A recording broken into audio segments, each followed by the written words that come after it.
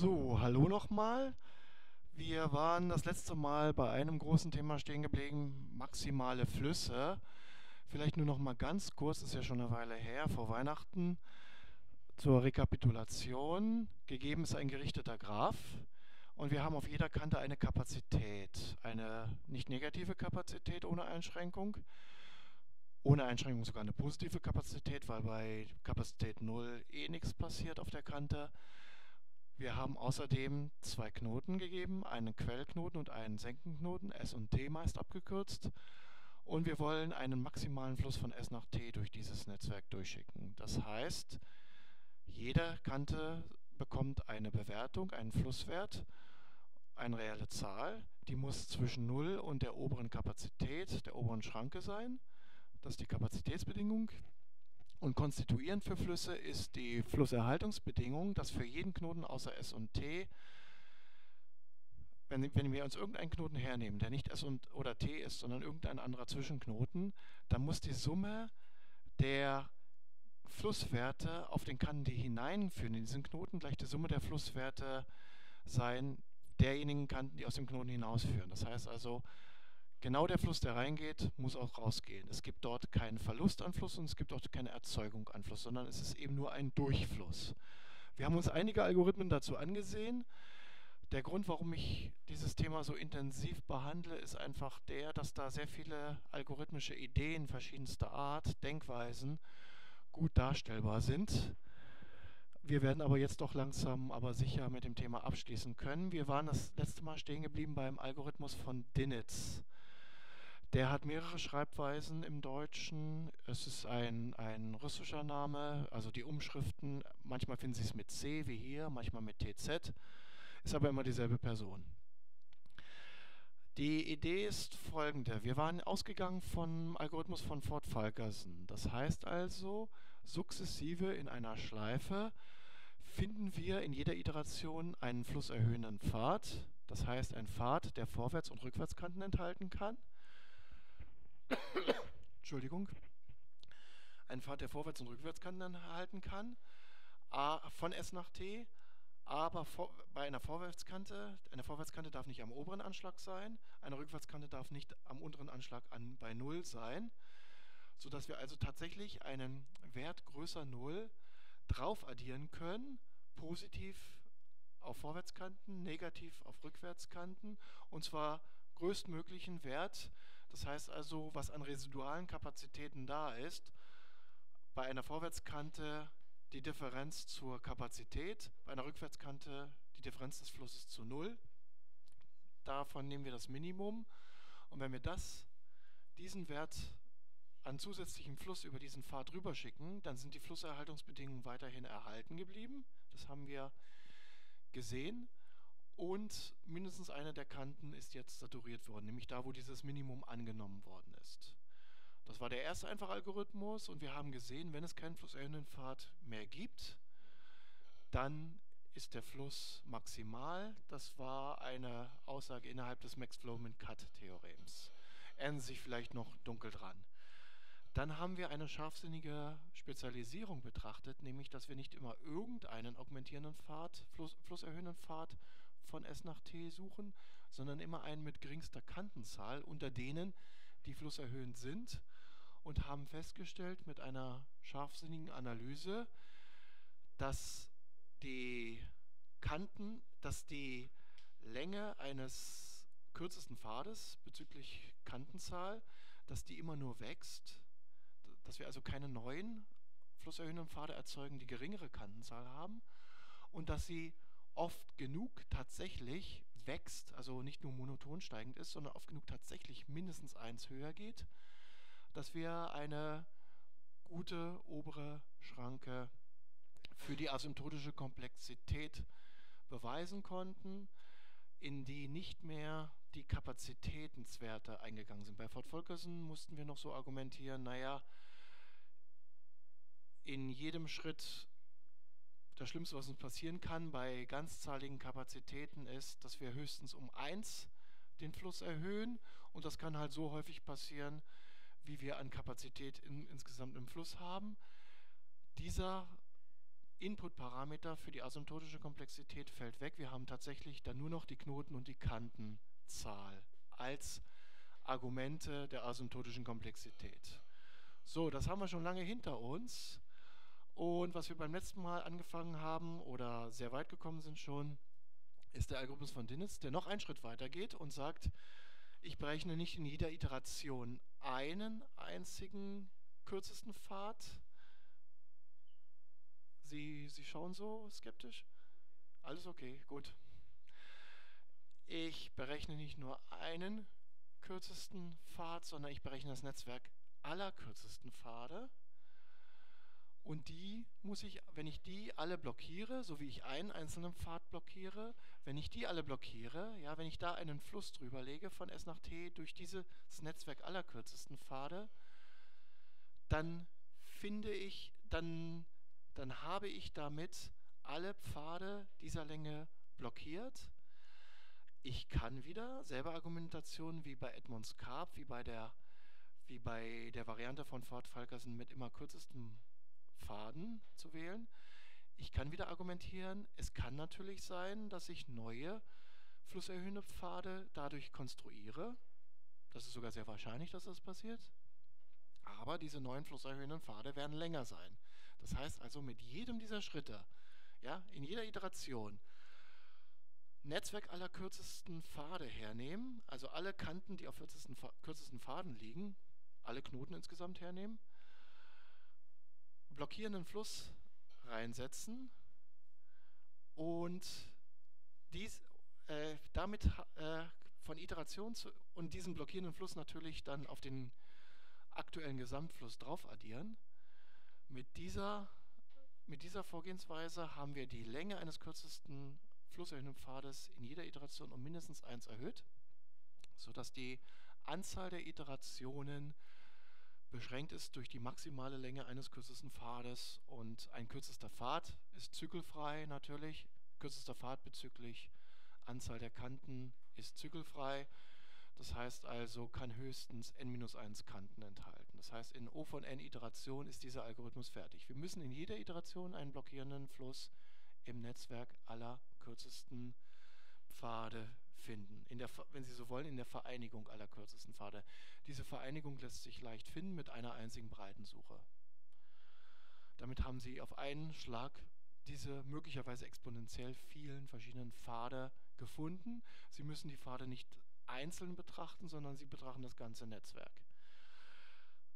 Nochmal zurück, blockierender Fluss hatten wir schon gesehen. Der Unterschied zwischen einem maximalen und einem blockierenden Fluss ist im Wesentlichen, dass es keine erhöhenden, flusserhöhenden Pfade mehr gibt, die nur Vorwärtskanten enthalten. Ja, das war unsere erste intuitive Idee. Wir suchen gerichtete Pfade von S nach T, die jeweils Restkapazität haben und erhöhen Fluss darüber, haben aber an einem Beispiel gesehen, dass man damit nicht den maximalen Fluss bekommen kann. Aber was man trivialerweise bekommt, ist ein blockierender Fluss, nämlich wo jeder äh, wo jeder Pfad von S nach T, der gerichtet ist, irgendwo eine saturierte Kante enthält. Das ist ein blockierender Fluss und natürlich ist ein blockierender Fluss kein maximaler Fluss, aber umgekehrt ist ein maximaler Fluss immer auch ein blockierender Fluss. Wenn es maximaler Fluss heißt ja, es gibt überhaupt keine flusserhöhenden Pfade. Insbesondere gibt es natürlich keine flusserhöhenden Pfade, in der die Kanten alle vorwärts sind. Also ist es auch ein blockierender Fluss.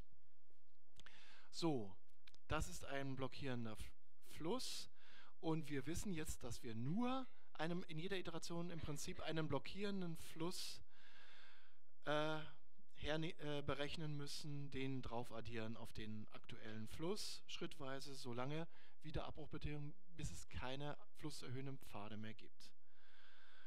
So, ich sollte noch mal dazu sagen, seit letztem oder vorletzten Mal sind wir dazu übergegangen, immer im residualen Graphen zu arbeiten.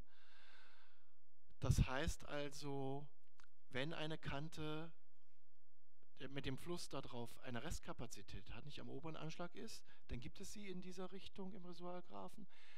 Wenn es positiven Fluss drauf gibt, also die Kante ist nicht auf dem, auf dem unteren Anschlag, dann gibt es eine Rückwärtskante.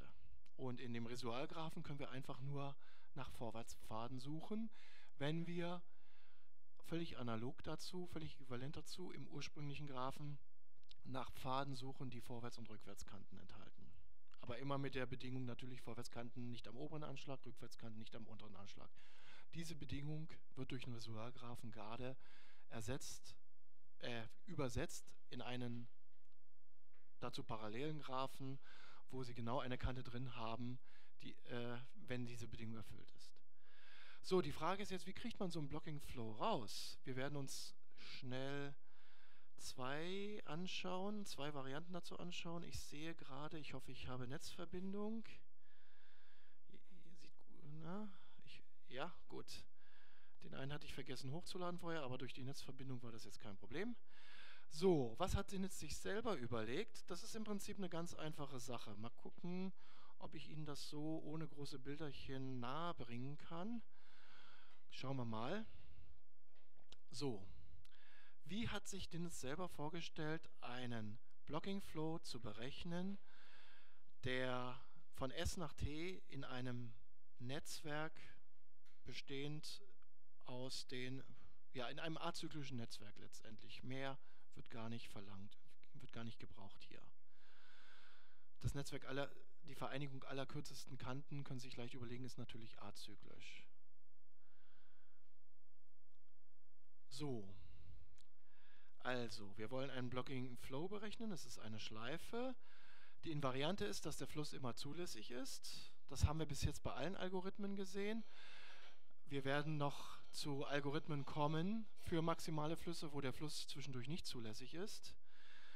Die Anzahl der Kanten wird verringert. Was wir tun ist, alle, ganz brutal, alles, was nicht benötigt wird an Kanten, wird rausgeschmissen. Das können wir uns bei maximalen Flüssen nicht leisten, aber wenn es nur darum geht, einen blockierenden Fluss zu berechnen, können wir uns das leisten. So, die Abbruchbedingung ist dieselbe wie immer. Es gibt keinen flusserhöhenden Pfad mehr. Blocking Flow äh, wollen wir nur berechnen. Es gibt keinen flusserhöhenden Ordinary, keinen flusserhöhenden Pfad von S nach T mehr, der nur Kanten in Vorwärtsrichtung enthält. Mehr wollen wir ja bei Blocking Flow nicht erreichen und mehr müssen wir auch nicht erreichen, um eine Iteration des Algorithmus hinzubekommen. So, der Induktionsanfang, die Initialisierung ist immer dasselbe oder fast immer dasselbe. Wir fangen mit irgendeinem zulässigen Fluss an. Das könnte der, der, der Nullfluss sein, das heißt alle Kanten haben Flusswert 0, das ist ein zulässiger Fluss. So, wie läuft jetzt der Algorithmus schrittweise ab? Wir haben schon bei Fort Falkerson um flusserhöhende Pfade zu berechnen, gesehen, es macht Sinn, zum Beispiel eine Tiefensuche zu machen. Wir können auch eine Breitensuche machen, dann finden wir einen kürzesten Pfad. Hier machen wir sinnvollerweise, hier machen wir eine Tiefensuche aus bestimmten Gründen. Erstens mal, was immer sinnvoll ist bei einer Tiefensuche, wenn wir einen bestimmten Zielknoten erreichen wollen äh, und wenn wir zufrieden damit sind, dass wir ihn auf irgendeinem Weg erreicht haben, dass wir frühzeitig die, die Tiefensuche beenden, nämlich dann, wenn wir von S aus starten, beim Zielknoten T angekommen sind. Aber hier kommt jetzt die große Änderung, was man bei normaler Tiefensuche tunlichst nicht machen sollte. Wann immer wir rückwärts gehen in der Tiefensuche, heißt das hier, dass es dort, wo wir jetzt gerade sind, nicht mehr nach T weitergeht. Und wenn es da nicht mehr nach T weitergeht, wir müssen nicht, wenn wir blockierende Flüsse nur berechnen wollen, keinen maximalen Fluss, müssen wir nicht berücksichtigen, dass es, wenn wir einmal in einer Richtung über eine Kante gegangen sind, dass wir dann später vielleicht nochmal in die, die, in die andere Richtung über diese Kante gehen. Ja, von hier aus, von dem Knoten aus, wo wir gerade in der tiefen Suche stehen, nach T ist alles blockiert. Und das reicht. Wir wollen ja nur blockiert. Aber ja, jeder Pfad von diesem aktuellen Knoten, wo die Tiefensuche steht, nach T enthält eine Kante, die schon saturiert ist. Und wenn das schon der Fall ist, dann brauchen wir diesen Knoten nicht mehr und wenn wir diesen, den können wir gefahrlos löschen. Und wenn wir diesen Knoten löschen, dann wir, müssen wir sogar die Inzidentenkanten löschen. Ja? Wir, wenn wir einen Knoten löschen, müssen wir natürlich die Kanten löschen, die da dranhängen. Was soll das sein? Eine Kante, die nur einen Knoten hat. So, und wenn wir nach der Tiefensuche T nicht gesehen haben, dann, wenn die Tiefensuche zu Ende ist, wenn wir also S praktisch damit auch gelöscht haben, ja, ganz zum Schluss würde auch S gelöscht werden, der Startknoten, dann heißt es, wie ich eben gesagt habe, vom aktuellen Knoten der Suche nach T ist jeder Pfad blockiert. S wird am Ende gelöscht, wenn die Tiefensuche wieder nach S zurückkommt und nicht mehr weiterkommen kann. Dann heißt, dann heißt es nach derselben Logik von S nach T ist jeder Pfad äh, blockiert. So, falls T doch gesehen wurde, also falls wir mit dieser Tiefensuche doch nach T angekommen sind, haben wir einen Pfad gefunden, von S aussuchend, nämlich den Pfad, der in der Tiefensuche im Tiefensuchbaum jetzt bis T geführt hat. Und dann machen wir dasselbe wie immer, nämlich wir gucken uns an, was sind die Restkapazitäten auf diesem Pfad, nehmen die kleinste dieser Restkapazitäten und erhöhen entlang dieses Pfades ähm, entlang äh, dieses Pfades um diese minimale Restkapazität von allen Kanälen drauf sind, sodass wir also diesen Pfad blockiert haben. Wir haben nicht nur diesen Pfad blockiert, sondern wir haben alle Pfade blockiert, die über diese Kante gehen. Ja? Also wir müssen nicht diese exponentiell vielen verschiedenen Pfade, die es möglicherweise geben könnte, alle einzeln blockieren. Das wäre ja brutaler Aufwand, dann können wir es gleich lassen. Sondern wir haben natürlich damit eine ganze Menge dieser exponentiell vielen Pfade schon für sich erledigt. Und diese Kante können wir dann aus dem Spiel wieder rausschmeißen, weil wir hier, wenn wir nur blockierende Pfade haben wollen, Entschuldigung, blockierenden Fluss haben wollen, dann reicht es immer nur, den Fluss zu erhöhen, niemals zu vermindern. Wir müssen, um einen maximalen Fluss zu haben, müssen wir unter Umständen sehr häufig auch mal Fluss wieder vermindern, indem wir rückwärts gehen. Das brauchen wir hier nicht und deshalb wenn eine Kante am oberen Anschlag ist, dann ist sie aus dem Spiel, dann können wir sie löschen. Und damit ist auch die Variante erfüllt. Wo ist die Variante? Da, dass die Anzahl der Kanten auf jeden Fall reduziert wird. Und wenn die Anzahl der Kanten immer reduziert wird, dann kann natürlich, dann in jeder Iteration, dann ist natürlich klar, dass das nicht ewig so weitergehen kann, sondern die Anzahl der Iterationen kann nur Anzahl Kanten häufig sein. So, die Variante impliziert Termination, nicht nur irgendwann Termination, sondern sehr schnelle Termination. Und die Abbruchbedingung sagt, dass der Fluss blockierend ist. Hier T ist nicht gesehen. Wir haben von S nach T keinen nicht blockierten Pfad mehr. So, und die Komplexität ist, naja, ganz einfach. Wir haben Anzahl Kanten, viele Iterationen. So ganz einfach ist es nicht, aber es ist trotzdem nicht so schwer. Also, wenn wir ganz primitiv analysieren würden, was die asymptotische Komplexität ist, dann würden wir herausbekommen, Anzahl Kanten zum Quadrat. Warum? Wir haben eben festgestellt, die Anzahl der Iterationen ist gerade Anzahl Kanten, ein Faktor. Und wie viel kostet eine Tiefensuche? Nochmal Anzahl Kanten. Also Anzahl Kanten zum Quadrat. Hier wird jetzt behauptet, dass die asymptotische Komplexität sogar besser ist. Anzahl Knoten mal Anzahl Kanten, nicht Anzahl Kanten zum Quadrat. Und da geht jetzt ein, was wir hier gemacht haben. Wann immer diese zweite Modifikation, wann immer wir rückwärts gehen, von einem Knoten aus, schmeißen wir den Knoten raus, sodass der auch für weitere Iterationen nicht mehr da ist. Ja? Das heißt, jeder Knoten, von jedem Knoten gehen wir nur ein einziges Mal rückwärts. Und das heißt im Prinzip, wenn Sie sich äh, die Anzahl der Vorwärtsschritte minus der Anzahl der Rückwärtsschritte in einer Suche, vorwärts, rückwärts, vorwärts, rückwärts, Sie können insgesamt nur, bis sie nach T gekommen sind, nur n-mal häufiger vorwärts als rückwärts gegangen sein. Insgesamt. Denn jedes Mal, wenn sie vorwärts gegangen sind und in die falsche Richtung, gehen sie wieder rückwärts, in eine Richtung, wo es nicht weitergeht. Und in eine Richtung, wo es weitergeht bis t, da gehen sie niemals in dieser Iteration, in dieser Graphensuche rückwärts. Sie können maximal n mal mehr vorwärts als rückwärts gegangen sein. Das, die, das ist die, dieser Faktor n ist die Anzahl der Vorwärtsschritte in dieser Iteration. Und die, Anzahl, die Gesamtzahl der Rückwärtsschritte kann nur insgesamt n sein, denn jedes Mal löschen wir einen Knoten und für die weiteren Iterationen ist er nicht mehr da.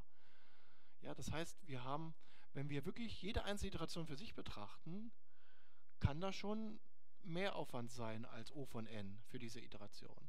Aber für die Gesamtzahl der Iterationen zusammengenommen kann, ist der Aufwand nur O von n mal m. Das ist ein Denkmuster, was Sie sich vielleicht im Nachgang äh, nochmal versuchen müssen, genauer zu, äh, zu überlegen. Das wird, solche Denkmuster dieser Art werden uns noch ein paar Mal begegnen. Es gibt auch einen Fachbegriff dafür, nämlich amortisierte Analyse. Ich weiß nicht genau, was der Gedanke hinter dieser Formulierung amortisierte Analyse ist. Sie wissen ja, was amortisieren heißt, nicht? Investitionen amortisieren sich. Ähm, aber ich vermute mal, es geht so in die Richtung, wenn man in einer Iteration viel Aufwand hatte, muss zwangsläufig aufgrund dieser Argumente in anderen Iterationen wenig Aufwand sein. Ja, so wie ich zum Beispiel sage, ich möchte gerne die GDE 2 in den nächsten Semestern halten, damit sich der Aufwand, den ich im 2013 äh, reingesteckt habe, sich dann amortisiert. Ich habe da viel Aufwand reingesteckt. Jetzt habe ich sie in der, äh, jetzt habe ich die die GDI 2 in der Schublade. Jetzt werde ich dementsprechend weniger Aufwand reinstecken, um die wieder machen zu müssen. Ich denke, nach einer ähnlichen Logik ist der Begriff amortisierte Analyse ist vielleicht eine Vorstellung, eine Analogie, die auch hilft, die Logik zu verstehen. Gibt es da an dieser Stelle von Ihrer Seite aus konkrete Fragen? Gut, ich meine, die Fragen werden sicherlich auch dann, wenn Sie sich ein weiteres Mal oder noch einmal damit beschäftigen, werden sicherlich kommen. Wobei ich nach, hatte ich ja schon mal gesagt, nach der bisherigen Erfahrung, seitdem ich die Vorlesungsaufzeichnungen mache, gibt es gar nicht mehr so viele Verständnisfragen, mit denen ich konfrontiert werde. Also anscheinend bringen die Vorlesungsaufzeichnungen durchaus etwas fürs Verständnis, was sich aber natürlich nicht davon abhalten soll, wenn ich das jetzt so sage, nicht davon abhalten soll, mich zu kontaktieren, wenn Sie Verständnisfragen haben. Übers Forum, über E-Mail, persönliche Ansprache, gegebenenfalls einen Termin ausmachen, wenn es was Komplizierteres ist. So, das ist die, das, so kann man nach dem Vorschlag von Dinitz, nach seinem eigenen Algorithmus, äh, diese, den, einen Blocking Flow berechnen. Es gibt einen besseren Algorithmus in Bezug auf asymptotische Komplexität, der allgemein bekannt ist unter dem Namen Drei-Inder-Algorithmus.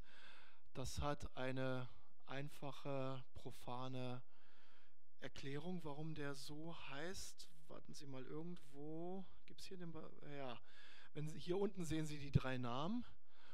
Und nicht in jedem, nicht in jedem Kulturkreis ist es einfach, sich diese drei Namen zu merken, obwohl zwei davon ja noch relativ einfach sind. Deshalb ähm, hat sich es eingebürgert, vom Drei-Inder-Algorithmus zu reden. Sie kennen ähnliche komische Konstruktionen Sie kennen vielleicht äh, das Gang of Four Book. Das ist das einführende Buch zu Design Patterns. Design Patterns haben Sie sicherlich in Eise oder irgendwo gesehen. Ja. Da kann sich auch keiner merken, wer die vier eigentlich genau sind. Deshalb heißt es Gang of Four Book. Und ähnliche Sprachregelungen gibt es. Ähm, Übrigens, soweit ich weiß, ich habe mich hin und wieder mal mit, mit Leuten aus dem indischen Bereich, aus dem Subkontinent unterhalten. Anscheinend haben Deutsche es relativ einfach, diese Namen korrekt auszusprechen. Ja, also die deutsche Aussprache kommt der korrekten Aussprache sehr viel näher als beispielsweise Englisch, englische oder französische, also Leute, die das als Muttersprache haben.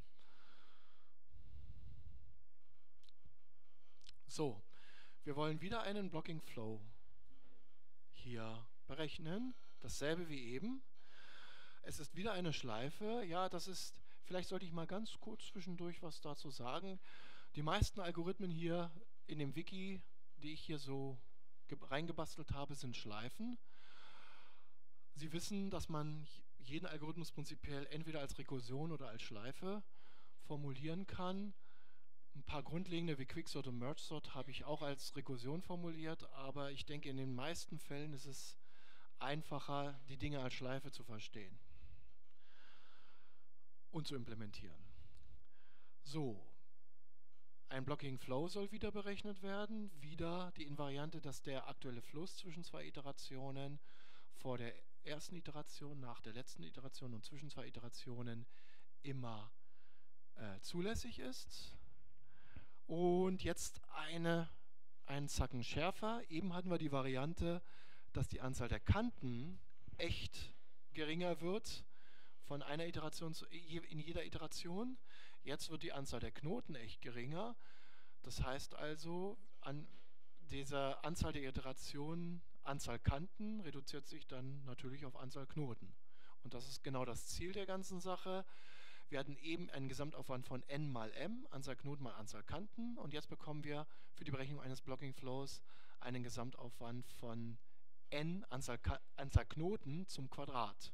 Eine Verbesserung. Das heißt, für den Gesamtalgorithmus, für Dinitz-Algorithmus zur Berechnung maximaler Flüsse bekommen wir auf n hoch 3. Dinitz selber zur Berechnung eines maximalen Flusses hat n Iterationen und was wir, worauf wir jetzt hinsteuern werden, ist, dass jede Iteration davon nur, nur n Quadrataufwand hat.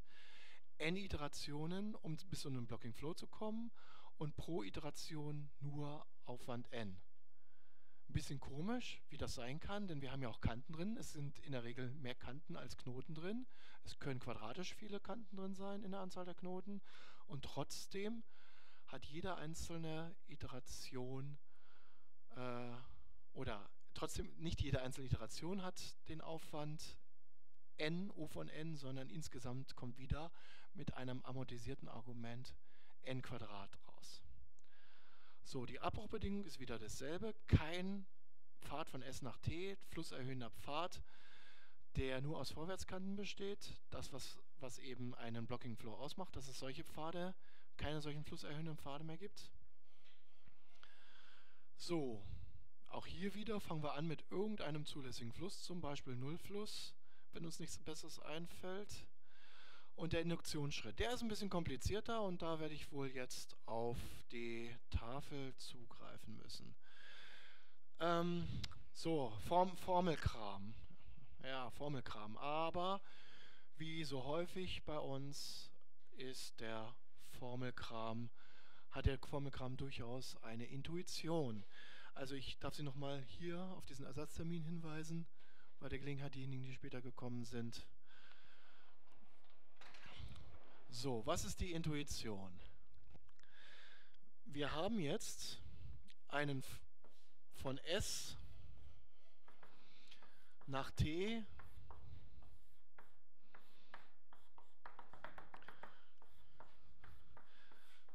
ein großes Netzwerk, in dem wir einen azyklischen Graphen Azyklisch reicht für uns. Wir wissen sogar, es ist mehr als azyklisch. Das ist ein Schichtgraph. Das heißt also, S ist auf nullter Schicht, diese Knoten sind auf erster Schicht, die nächsten auf zweiter Schicht und so weiter. Aber es reicht für uns azyklisch. So, wir wollen einen blockierenden Fluss darin berechnen. Das heißt, dass es auf jedem Vorwärtspfad mindestens eine Kante gibt, die saturiert ist durch diesen Fluss. Es soll weiterhin ein Fluss von S nach D sein, zulässig, Flusserhaltungsbedingungen, Kapazitätseinschränkungen, aber nicht, das, die, nicht die Bedingung, die man beim maximalen Fluss hat, nämlich dass es bezüglich Vorwärts- und Rückwärtskanten keine flusserhöhenden Pfad gibt, sondern nur Vorwärtskanten. So, wir gucken uns von jedem einzelnen Knoten an in einer Iteration. Gucken wir uns an, wie nennen wir den dort? V nennen wir den. So. Von dem gucken wir uns den Throughput an, den, das würde ich übersetzen mit Durchsatz. Was ist dieser Durchsatz? Das ist das, was hier definiert ist. Das ist das, was durch diesen Knoten hindurchfließen könnte, potenziell an Fluss, wenn wir uns nur die rein- und rausgehenden Kanten dieses Knoten anschauen. Ja, also wir gucken uns an, wie viel Fluss kann hier links reinfließen in diesen Fluss, in diesen Knoten, Entschuldigung. Wie viel Fluss kann hier links reinfließen in den Knoten? Wie viel Fluss, indem wir einfach die, die Restkapazitäten aufsummieren? Wie viel äh, Fluss kann rausfließen auf diesem Knoten, indem wir einfach die, Re die Restkapazitäten derjenigen Kanten aufsummieren, die aus diesem Knoten rausgehen? Und von beiden nehmen wir das Minimum. Das ist, nicht das ist einfach diese schreckenserregende Formel hier. Wir gucken uns alle Kanten an, die aus diesem Knoten V rausgehen, deren Kapazitäten, alle Kanten, die reingehen, deren Kapazitäten, davon bilden wir das Minimum. So viel kann durch diesen Knoten maximal durchfließen, wenn der Rest des, des Graphen uns das erlauben würde. Ja, der Rest des Graphen kann natürlich dafür sorgen, dass nicht so viel durchfließt, aber wenn wir uns nur diesen Knoten mit seinen inzidenten Kanten anschauen und, und den Rest des Graphen ignorieren, dann wäre das das, was möglich wäre.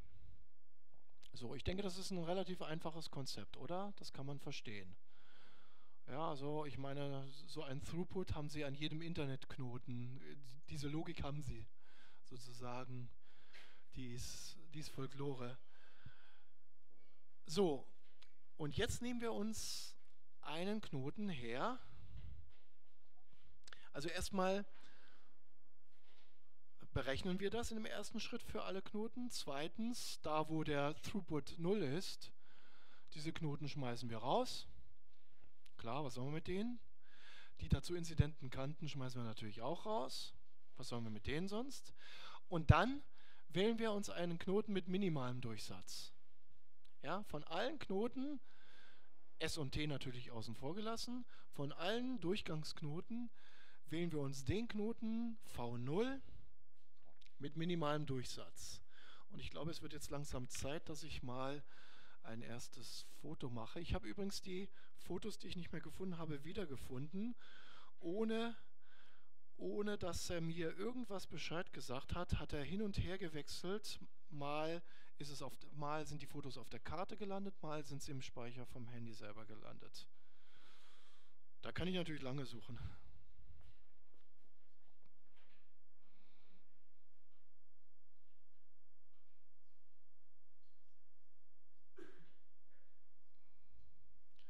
So, und das ist das eine Mal, der Speicher voll war, lag einfach daran, dass es nicht auf der Speicherkarte war, sondern tatsächlich im im Speicher des Handys selber. Deshalb war ich da überrascht, dass mitten in der Vorlesung der Speicher voll war.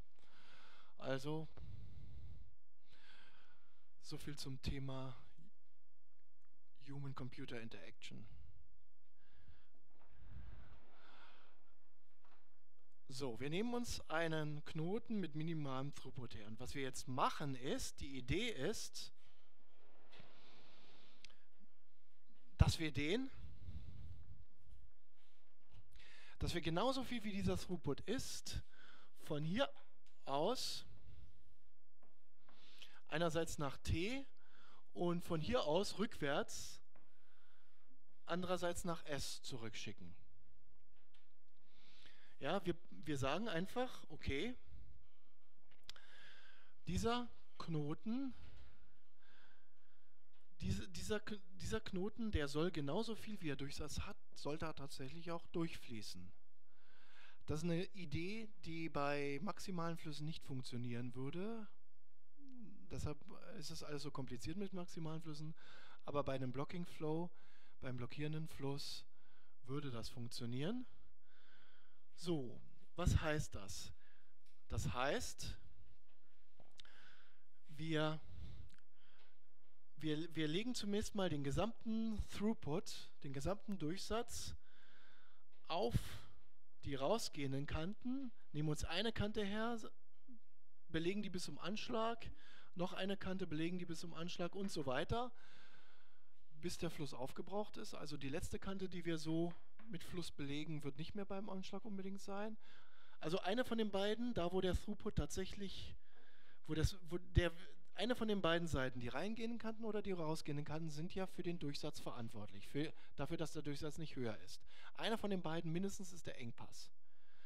Dort packen wir allen Fluss auf die Kanten rauf und das passt gerade.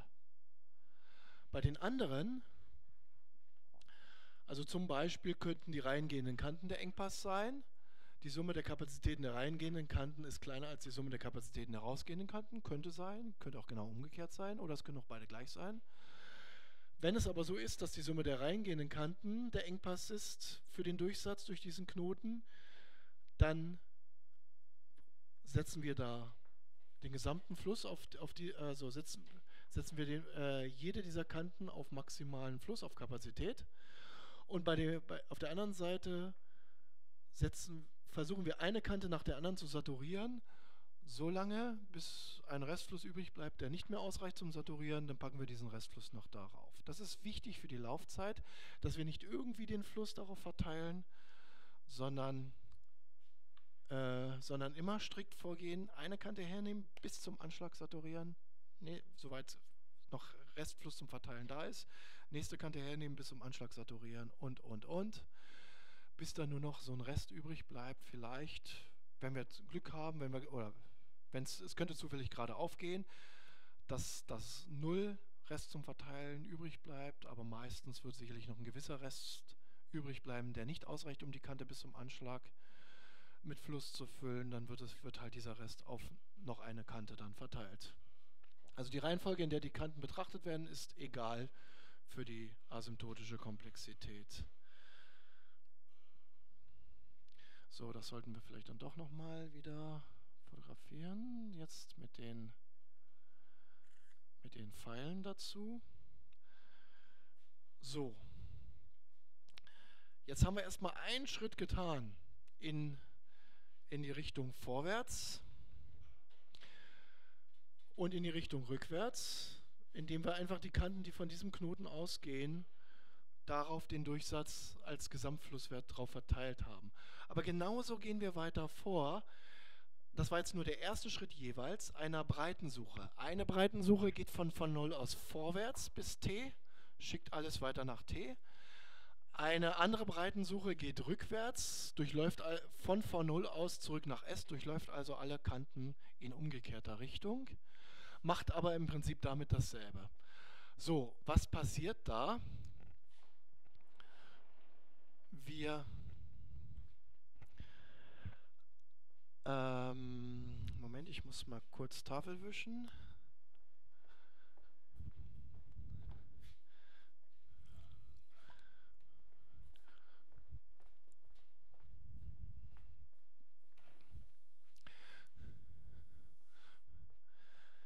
Vielleicht sollte ich mal hier in die Vorlesung Werbung einbauen für irgendwelche Getränke oder so. Denn jedes Mal, wenn ich dann hier nach hinten gehe, um was zu holen, kann ich sagen, so, Sie haben zu Hause haben Sie jetzt Zeit, eine Minute, um sich aus dem Kühlschrank das und das Getränk zu holen. Also diese Vorlesung wurde Ihnen präsentiert von dass es an vielen Universitäten schon Hörsäle gibt, die, die nach Produkt, Produkten oder Firmen benannt sind, wissen Sie ja, nicht? Für einen gewissen Geldbetrag, der meistens geheim ist, äh, darf dann ein solcher Hörsaal wie hier nicht mehr C120 genannt werden, sondern der muss, ich will jetzt, jetzt nicht irgendeinen Namen auswählen, der muss dann der Produkt XY Hörsaal heißen. Gut, ist sicherlich billiger als, sicherlich billiger als so eine SAP-Arena oder so etwas. So. wir, wir haben hier irgendwo V0 und haben schon den Fluss weitergereicht. Und hier sind wir bei jetzt bei irgendeinem Knoten, wie ist, wird der hier genannt? Ähm ich denke, W ist das jetzt hier. So. Wir warten bei W, bis alle Knoten hier, die vor W sind, fertig abgearbeitet sind. Was heißt fertig abgearbeitet? Das heißt, Sie müssen sich vorstellen, wir schicken hier durch die, die einzelnen Schichten des Graphen, die jeweils mit Knoten verbunden sind, hier so, schicken wir den Fluss immer weiter von V0 nach T, hier hinten T, immer weiter und behandeln dann auch die Knoten jeweils von links nach rechts. mit V0 haben wir begonnen, da haben wir allen Durchsatzfluss hier raufgesetzt und jeden Knoten verarbeiten wir dann weiter, also packen ihn in die Queue oder irgendwie, wenn diese Knoten, die von denen aus dieser äh, Knoten W erreichbar ist, wenn die alle schon verarbeitet sind. Verarbeitet heißt, alles, was reingekommen ist von links, ist nach rechts weitergeschickt worden. Das heißt also, alles, was von links gekommen ist, also alles, was von links kommen könnte, ist bei W schon angekommen und kann jetzt auf die rausgehenden Kanten von W verteilt werden. Immer wieder nach demselben Schema. Ich nehme mir irgendeine aus W rausgehende Kante her und, und wenn, wenn genug Fluss zum Verteilen da angekommen ist bei W, dann saturiere ich die. Dann ist natürlich um den Betrag weniger Fluss noch zu verteilen. Dann nehme ich mir wieder irgendeine Kante, die aus W herausgeht, her. Und wenn genug Fluss vorhanden ist, noch zu verteilen, dann saturiere ich die und so weiter, bis dann nur noch so ein kläglicher Rest da ist. Ich nehme mir wieder eine Kante her und das, was noch an Rest an Fluss zu verteilen ist, reicht nicht mehr, um die Kante zu saturieren na dann saturiere ich sie eben nicht, sondern packe nur diesen Fluss drauf und Ende. Also ist, ist das Prinzip soweit klar geworden, wie der Algorithmus den Fluss nach, von links nach rechts, von V0 nach T verschiebt. Das funktioniert, das ist jetzt der entscheidende Punkt. Das funktioniert, weil wir V0 gewählt haben als den Knoten mit dem minimalen Durchsatz. Das bedeutet, was im W hat einen Durchsatz, der mindestens so groß ist wie V0. Es kann bei W von links nur höchstens so viel angekommen sein, wie wir bei V0 äh, abgeschickt haben. Das heißt, es kann nur höchstens so viel angekommen sein bei W, wie der Durchsatz von W ist. Möglicherweise kommt weniger als das an. Also können wir das, was da angekommen ist, ist nicht zu groß. Das können wir alles auf die aus W herausgehenden Kanten verteilen. So, Sie hatten sich zuerst gemeldet und dann Sie?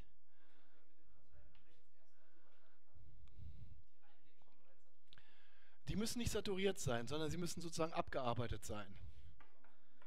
Genau, sie müssen nicht saturiert sein. Ähm, die Kanten, die gar keinen Fluss abgekommen, abbekommen, die müssen wir dann auch einmal als äh, erledigt dabei. Müssen wir das? Nee, müssen wir gar nicht. Äh, die brauchen wir gar nicht anzufassen. So, jetzt Ihre Frage.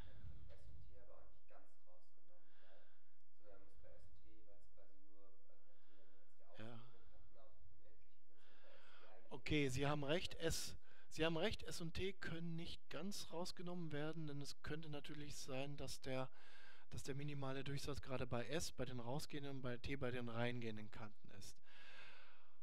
Okay, müsste ich im Wiki wahrscheinlich ein bisschen abändern, haben Sie voll und ganz recht. Die, also entweder nehmen wir S und T entsprechend dazu oder was wir natürlich tun könnten immer ist hier T zu ersetzen durch ein neues T', was hier unendliche Kapazität hat. Beides ist möglich, aber Sie haben voll und ganz recht, wie es im Wiki steht, ist ein bisschen zu kurz gegriffen.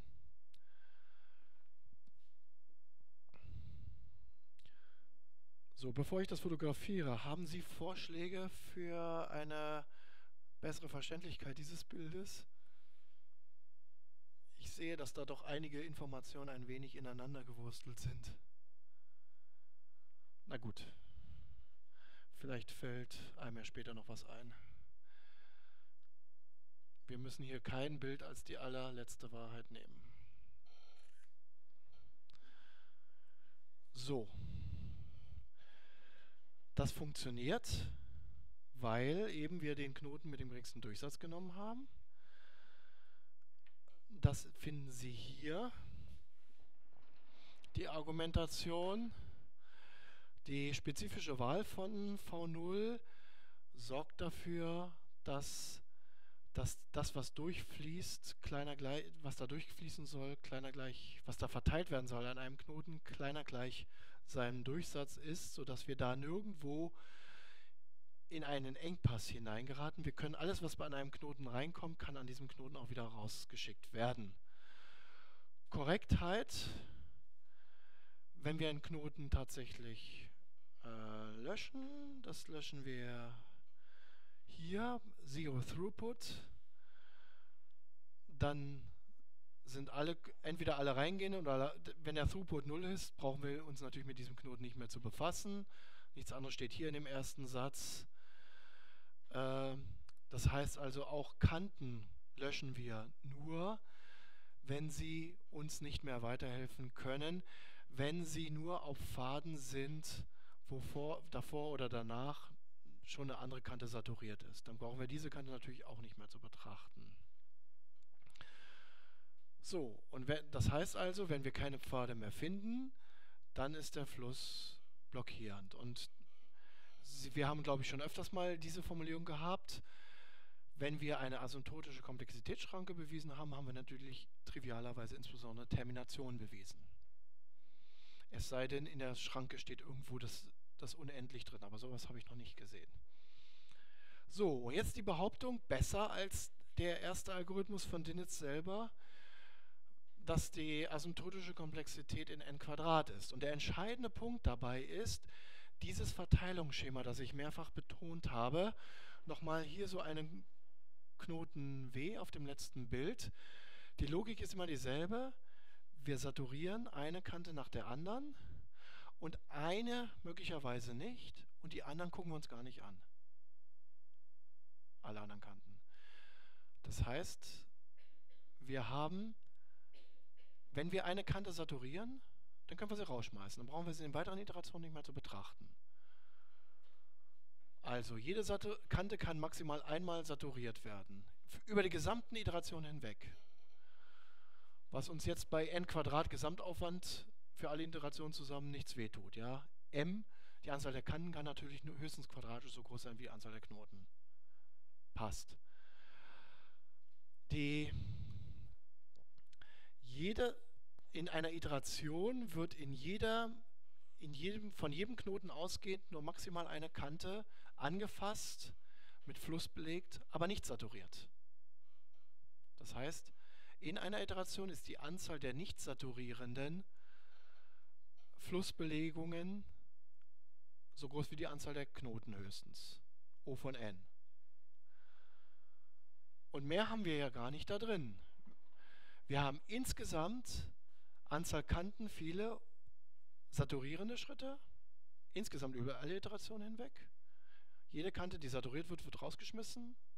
Mehr kann da nicht passieren. Auf den nicht saturierten Schrittkanten, die Kanten, die wir angefasst haben, wo wir Fluss raufgesetzt haben, aber nicht bis zum Anschlag, da kann später noch was passieren. Aber davon haben wir in jeder Iteration nur O von n Fehler. Das heißt also, Insgesamt ergibt sich Aufwand O von n Quadrat. Da ist der Aufwand O von m wie Martha für die saturierenden Schritte enthalten und n Quadrat, n Iteration, n mal ein nicht saturierender Schritt ist auch enthalten. Alle anderen Kanten, nachdem wir eine Kante nicht saturierend da Fluss drauf gesetzt haben, können wir alle anderen Kanten, die aus W rausgehen, aus diesem Knoten rausgehen, ignorieren. Die fassen wir gar nicht an. Und wenn wir sie nicht anfassen, kosten die uns keine Laufzeit. Ja, also Sie sehen, dass wir dann teilweise schon subtile Argumentationen da drin haben, aber ich kann Sie beruhigen, wenn Sie es einmal, wenn es einmal Klick gemacht hat, das ist so ein typischer Fall, der Groschen muss mal fallen und dann ist es ganz offensichtlich und auch sogar leicht zu merken. Leicht zu verstehen und leicht zu merken, nachdem der Groschen gefallen ist. Und die Hoffnung ist durchaus berechtigt, wenn der Groschen bei einer algorithmischen Argumentation gefallen ist, dass er dann sehr viel leichter fällt bei den anderen auch. Sie melden sich?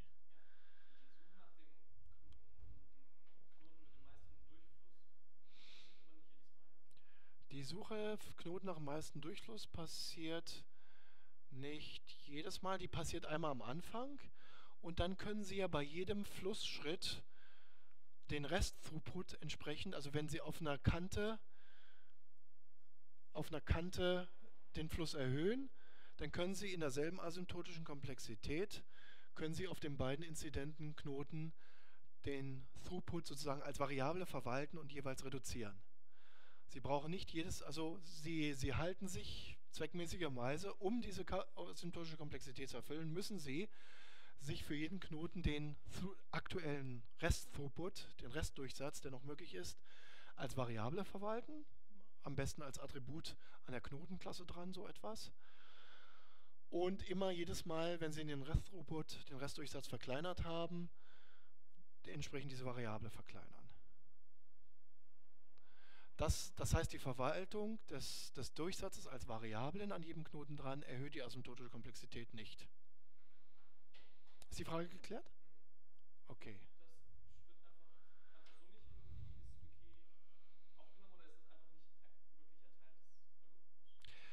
Dass das nicht aufgenommen wurde ins Wiki, liegt im Wesentlichen daran, dass ich mir die Frage bei Abfassung des Wikis gar nicht gestellt habe. Aber es ist sicherlich, gibt sicherlich gute Gründe. Sie können übrigens, äh, falls Sie schon einen Account haben, wenn nicht, können Sie sich einen bei mir besorgen. Sie können sowas auch selber reinschreiben. Ja, das ist gewünscht. Schreiben Sie da was rein. Ich meine, rückgängig machen kann man irgendwelche Sachen oder, oder entweder vor, noch weiter vorwärts, noch weiter verbessern oder notfalls, wenn es doch ein bisschen in die Irre gegangen ist, rückgängig machen kann man es doch immer. Ja, also das ist auch an, an Sie alle. Schreiben Sie, wenn Sie irgendwo etwas nicht richtig verstehen, Sie können sich gerne nochmal bei mir rückvergewissern ähm, oder zum Beispiel auch die Änderung vornehmen und dann mich, mich darauf hinweisen, da ist, da ist eine Änderung gemacht worden, sind Sie damit einverstanden?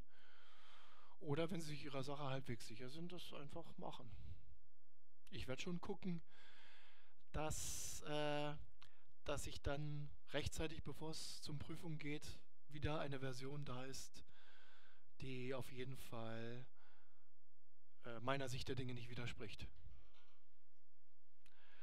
Gut, gibt es weitere Fragen zu diesem Algorithmus? Gut, dann möchte ich zu einem, einer letzten Art von Max-Flow-Algorithmen kommen.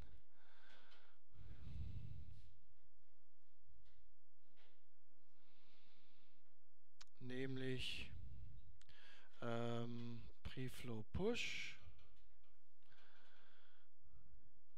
So, da möchte ich Ihnen, bevor ich in die Details gehe, einiges mündlich erstmal erzählen. Bis jetzt waren alle Flussalgorithmen von der Form, die Invariante war immer mehr oder weniger dieselbe oder die grundlegende Invariante, nämlich zwischen zwei Iterationen beziehungsweise vor der ersten Iteration, beziehungsweise nach der letzten Iteration. Außerhalb jeder Iteration ist, sind die Kantenbewertungen f ein zulässiger Fluss. Kapazitäten sind eingehalten und Flusserhaltungsbedingungen sind eingehalten. Ja? Und, das, und die Tendenz des Algorithmus war, dass der Flusswert von Mal zu Mal, von Iteration zu Iteration steigt, solange bis er maximal wird. Ja, das heißt, Zulässigkeit ist immer gegeben, Optimalität ist ganz am Ende erreicht. Klingt ja auch plausibel, nicht? So würde man algorithmisch sicherlich denken, bei, wenn es um ein Optimierungsproblem geht, einen Wert zu maximieren oder zu minimieren, in diesem Fall zu maximieren. Der Preflow-Push-Algorithmus geht aber anders vor.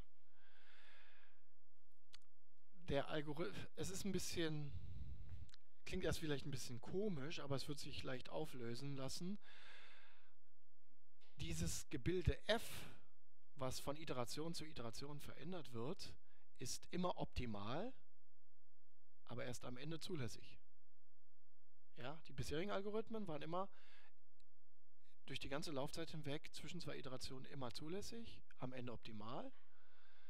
Jetzt haben wir einen Algorithmus, der ist immer optimal, aber erst am Ende zulässig. Was heißt das?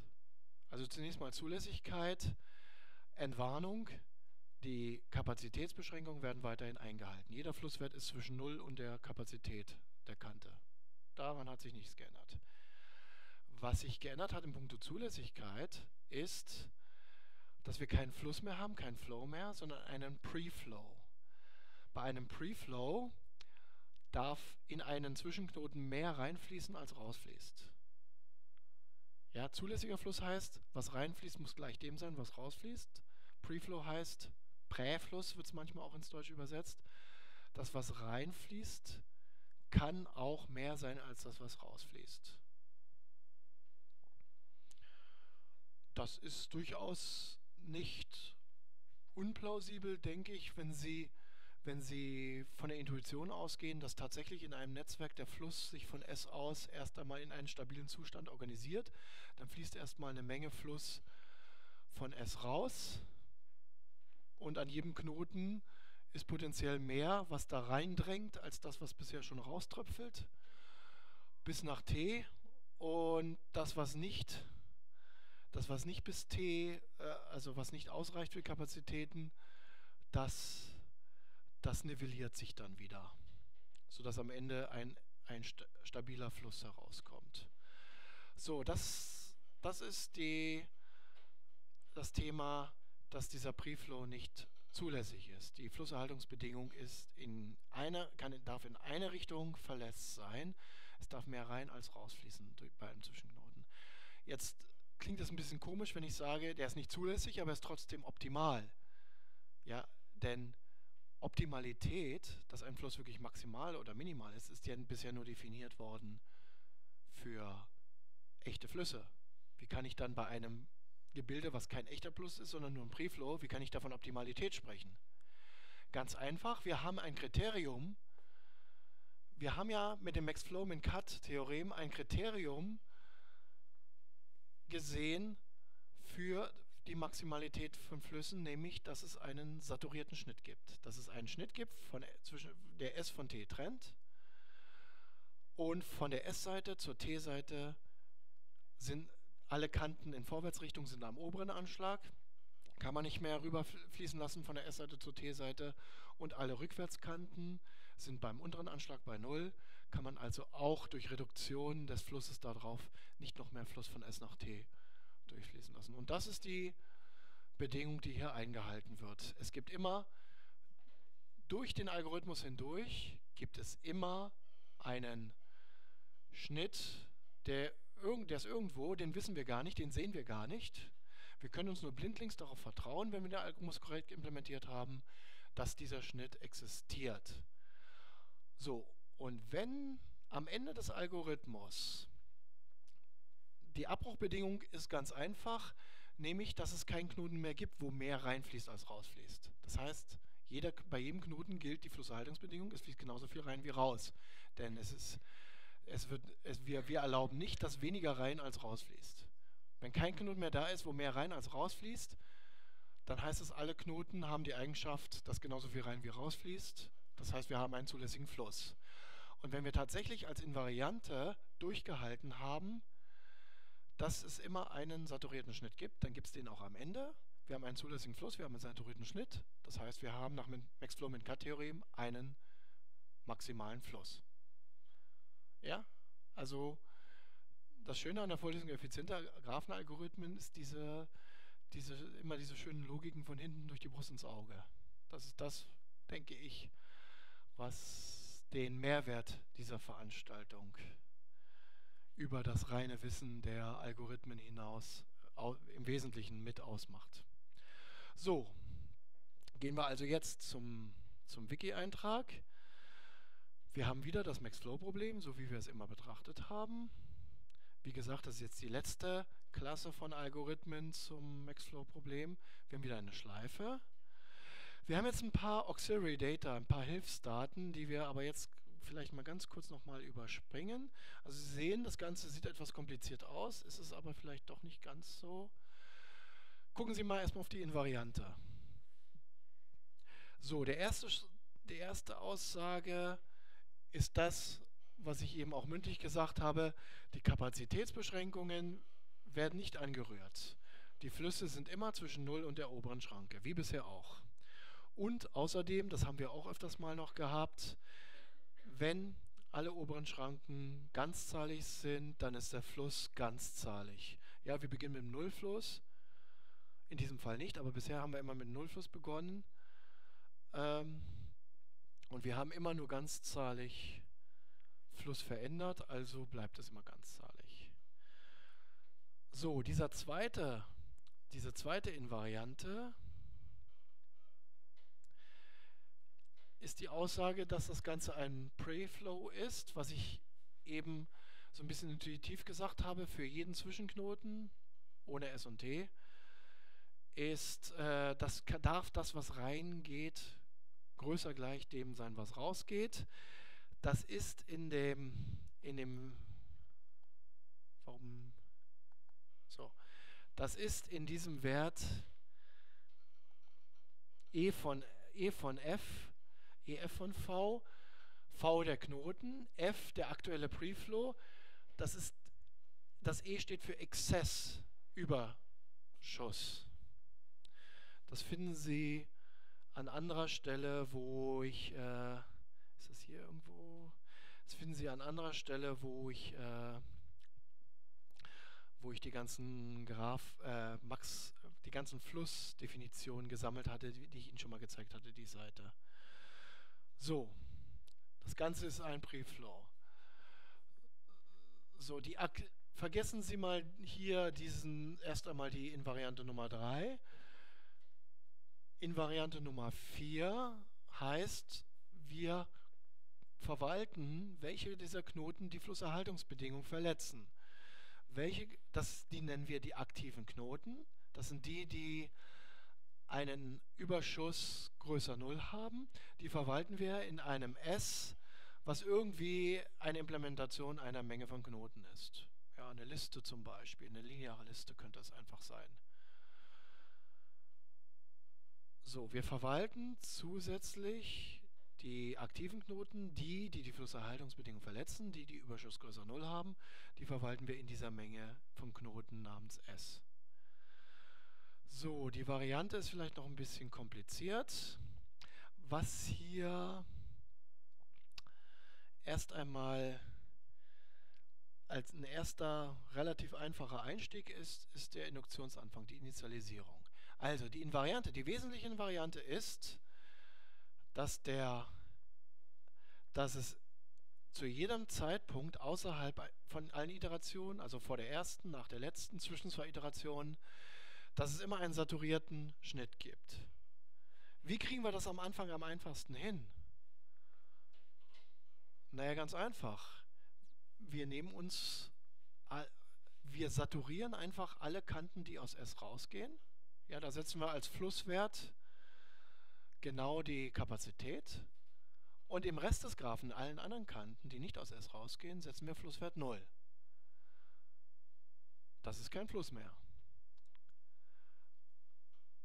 An den Knoten, die von S unmittelbar durch eine Kante erreichbar ist, haben Sie tatsächlich einen positiven Überschuss, nämlich, nämlich das, was von S aus direkt über diese Kante da jetzt reingesetzt wurde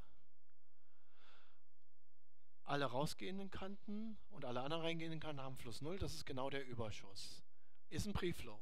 Weil an, bei allen anderen Knoten, ja, ist, ich weiß nicht, ist das, wird, wird das klar, wenn Sie, machen wir es vielleicht doch sicherheitshalber mal kurz an der Tafel.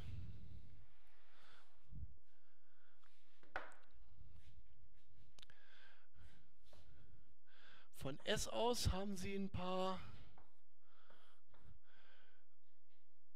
Kanten f von, von dieser Kante a setzen Sie auf die Kapazität von a.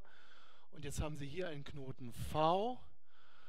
Und in v haben Sie vielleicht von irgendwoher noch reingehende Kanten. Raus haben Sie noch rausgehende Kanten. Die setzen wir alle auf 0. Nur die Kanten, die aus S rausgehen, die saturieren wir. Alle anderen setzen wir auf 0. Das heißt, der Überschuss, nee, wir, ich habe das nur mit E abgekürzt, von V ist gerade U von A größer 0. Und wenn ich jetzt hier einen Knoten W habe, dann heißt das, der Überschuss von W ist gleich 0. Ja, reingehende, rausgehende haben alle Wert 0. Wir haben einen Preflow und wir haben einen ersten saturierten Schnitt. Denn dieser erste saturierten Schnitt besteht gerade aus den Kanten, die aus S rausgehen. Es können natürlich auch Kanten nach S reingehen, die haben Wert 0. Nur, nur bei Kanten, die aus S rausgehen, setzen wir den Flusswert auf die obere Schranke und damit haben wir ein S und der Rest des Graphen bilden einen saturierten Schnitt, der S von T trennt. Mit dieser einfachen Konstruktion sind wir am Anfang, sind wir, sind wir schon im, im Spiel. Wir haben schon die Invariante, diese Kerninvariante, dass wir einen Preflow haben und die zweite Kerninvariante, dass wir einen saturierten Schnitt haben, haben wir schon erfüllt. So, das mal schnell fotografiert. So.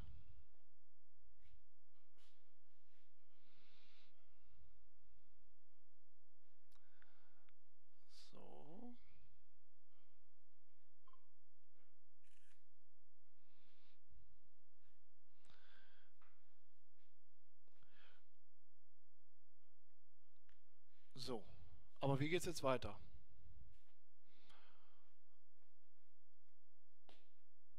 Jetzt, was ist die Idee? Jetzt müssen wir, jetzt müssen wir, es muss dafür gesorgt werden, dass es immer einen saturierten Schnitt gibt. Das heißt, was wir jetzt, was wir jetzt machen müssen, ist zu versuchen, schrittweise, und wir werden dann, Schritte heißt wirklich, jede Iteration behandelt wirklich nur eine Kante, ändert den Fluss nur auf einer einzigen Kante, nicht mehr entlang eines Pfades. Schrittweise diesen Fluss, der hier aus S rausgetrieben wurde, sozusagen, den weiterzutreiben nach T. Richtung T. Nur, das wird uns natürlich nicht ganz gelingen, denn im Allgemeinen ist, ist dieser erste Schnitt nicht der minimale Schnitt. Irgendwo gibt es engere Engpässe. Das, was wir jetzt aus S alles rausgetrieben haben, wird nicht bis T ankommen können im Allgemeinen. Wenn irgendwo, irgendwo auf dem Weg von S nach T ein noch engerer Schnitt ist, also mit geringerer Kapazität, dann wird da natürlich der ganze Fluss, den wir jetzt aus S rausgeschickt haben, nicht, nicht, nicht alles durchkommen können. Das heißt also, wir müssen irgendwie dafür sorgen, dass der Fluss, der nicht weiterkommt nach T und nur der, wieder nach S zurückfließt. Irgend natürlich nicht zu, zu schnell nach S zurückfließt, ja. Erst dann, wenn, wenn garantiert ist, dass dieser Fluss nicht nach T kommen kann, darf er nach S zurück. Ja, also Sie sehen Magie pur. Klingt so, ne? Jetzt die Frage, aber um diese Magie tatsächlich in einen Algorithmus umzuwandeln,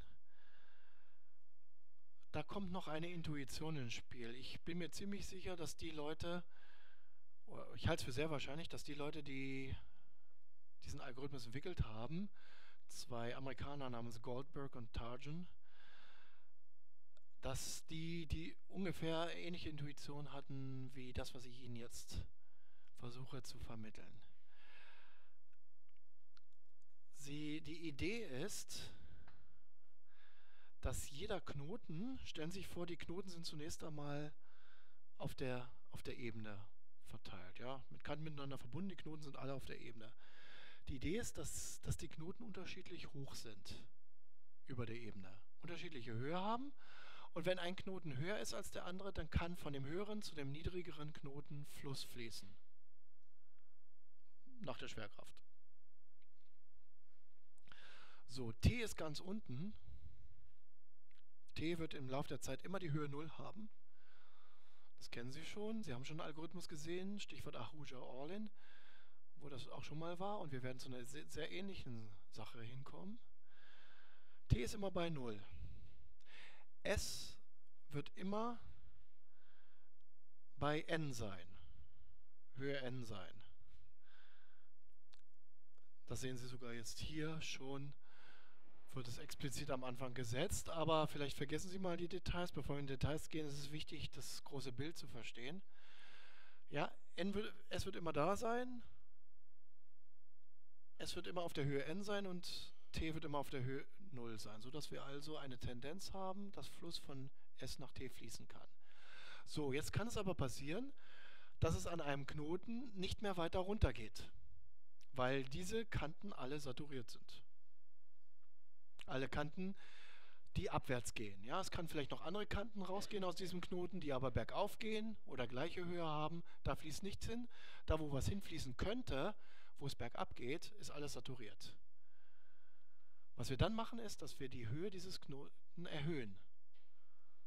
So weit, dass es wieder in andere Richtungen, damit erhöhen wir, damit erhöhen wir einseitig auch die Kanten, die an dem verbunden sind. Ja?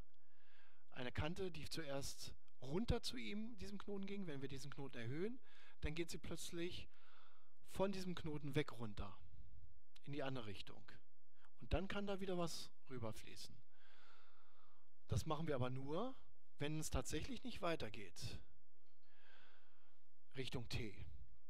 Und weil wir da so vorsichtig sind, dass wir nur dann einen Knoten erhöhen, wenn es definitiv in die Richtung, wo es abwärts geht, nicht mehr weitergeht. Dadurch haben wir unter Kontrolle, dass wenn es dann dazu kommt, dass, dass, äh, Fluss nach S zurückfließt, dass das wirklich nur Fluss ist, der nicht bis T kommen konnte. Denn wann, wann, kann, wann, kann S, wann kann überhaupt nur Fluss nach S zurückfließen von einem Knoten, wenn dieser Knoten höher als S ist? Er muss also schon sehr weit hochgegangen sein, damit überhaupt Fluss wieder zurückfließen kann von diesem Knoten zurück nach S. Und das heißt also, es gibt keine Möglichkeit, er, er, musste deshalb so hoch gehen, weil es keine Möglichkeit zur Höhe 0 runterzukommen gibt, nach t. Deshalb musste er so hoch gehen, dass es nur noch Möglichkeiten wieder zurück gibt, von dem Fluss, den er, der dort angekommen ist, nicht weitergeht, dass der wieder abwärts zurückfließen kann. Das ist so die grundlegende Idee. Und die Frage ist jetzt, wie wir das in einen Algorithmus umbasteln. Und wie gesagt, im Prinzip ist die Antwort schon beim Algorithmus von Ahuja und Orlin gegeben, den Sie schon im letzten Jahr hier gesehen haben. Aber wenn Sie das nicht mehr innerlich haben, ist auch nicht äh, wichtig. Wir können, wir fangen hier wieder bei Null an. So, jetzt kommen wir zu der ausgelassenen Invariante. Vielleicht erinnern Sie sich noch, so, was, so ähnliche Sachen standen bei dem Algorithmus dran.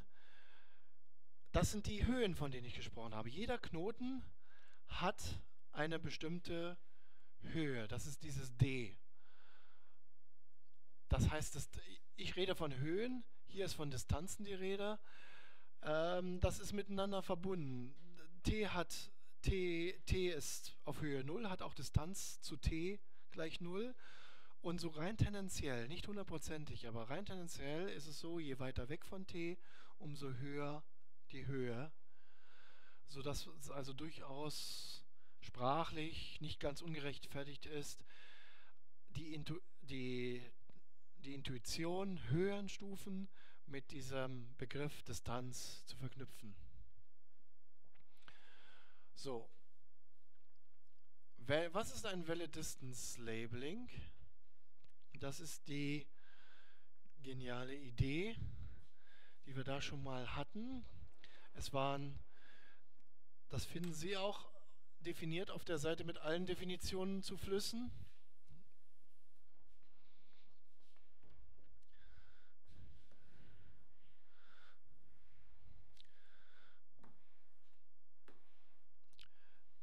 Nämlich die Distanz von t zu sich selber ist gleich 0. Und wenn wir eine Kante haben,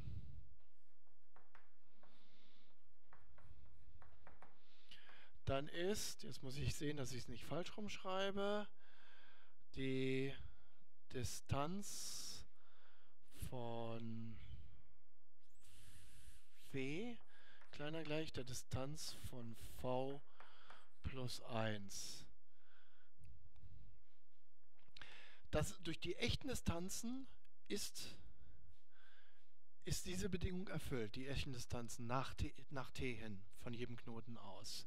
Aber es gibt auch andere Belegungen d, die nicht die echten Distanzen nach t sind und für die das auch erfüllt ist. Und das halten wir als Invariante fest, zusätzlich noch mit der Zusatzbedingung, die nicht in dem, in dem Begriff Valid Distance Labeling enthalten ist, eine zusätzliche Bedingung, dass S auf der Höhe n ist. Das fotografiere ich jetzt sicherheitshalber auch nochmal.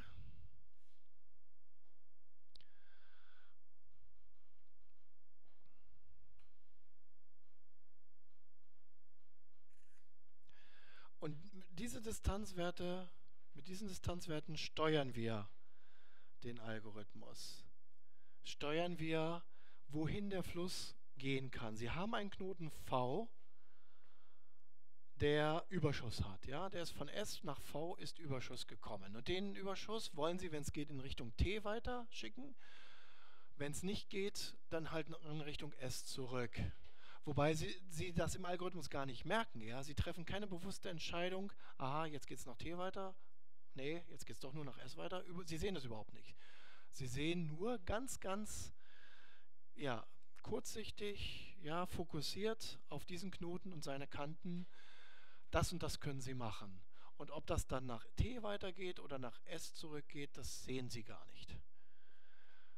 Ähm, Sie, wir schicken Fluss nur da, dann rüber, über eine Kante von V nach W, wenn es tatsächlich ein Gefälle gibt von V nach W. Das heißt, wenn diese Bedingung hier mit Gleichheit erfüllt ist, diese Ungleichung hier in der Mitte mit Gleichheit erfüllt ist. Nur dann schicken wir Fluss rüber. Ja, nach, nach dieser Logik, es geht immer nur bergab. Diese Bedingung hier im Valid Distance Labeling, diese Ungleichung besagt letztendlich, dass dieses, dieses, das Bergab immer nur einen Schritt gehen kann. Ja, es kann immer nur es kann niemals eine Kante geben, die mehr als eine Höhenstufe abwärts geht. Könnten, können, können beliebig auf, also Kanten mit Residualkapazität können beliebig aufwärts gehen, aber es kann niemals ab, mehr als einen Schritt abwärts gehen. Das sagt diese Ungleichung hier aus. Über Kanten mit residualer Kapazität. Das heißt, wenn Sie eine riesengroße, große, riesenhohe Knoten haben, über der Höhe von S, über, über der Höhe n, dann gibt's gibt es, das ist der entscheidende Punkt jetzt, dann gibt es keinen absteigenden Pfad mit residuellen Kapazitäten mehr von diesem Knoten nach T. Ja, weil jede, auf jeden einzelnen Kante würde es nur um einen Zähler runtergehen und wenn dieser Knoten höher als n ist, haben Sie nicht genug Kanten, um auf einem einfachen Pfad ohne, ohne Zykel nach T runterzukommen. Und das, wir sind heute hier am Tag der verqueren Logik. Und damit, das wird jetzt in den, am Ende dieser Vorlesung nicht anders sein. Das ist die Argumentation, je, dass, dass, dass es einen saturierten Schnitt letztendlich geben muss. Oder dass man von diesem Knoten aus den Überschuss nicht mehr weiter nach T schicken kann, weil es keine residualen Pfad mehr nach T geben kann. Also wird das Ganze nach S, wenn, wenn der Knoten so hoch ist, dass er Fluss nach S zurückschicken kann, dann, dann darf er nach dieser Logik, nach dieser Argumentation auch Fluss nach S zurückschicken, weil es keinen Weg mehr gibt, diesen Fluss nach T weiterzuschicken. Das werden wir uns beim nächsten Mal nochmal genauer ansehen. Wir haben jetzt genau Schluss. Für heute möchte ich mich dann bei Ihnen für die Aufmerksamkeit bedanken.